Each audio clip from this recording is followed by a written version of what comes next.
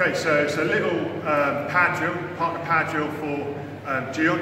What we're looking at is where we've got the age uke here this way. Finally, age uke step through oizuki.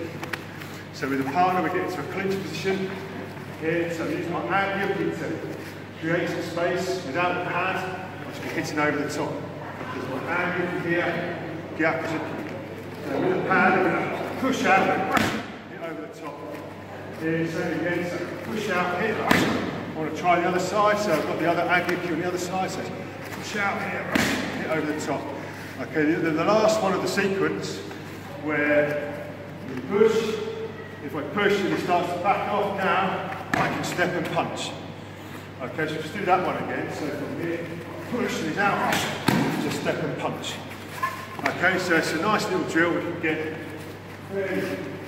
um, lively with it. I can really drag each other around here.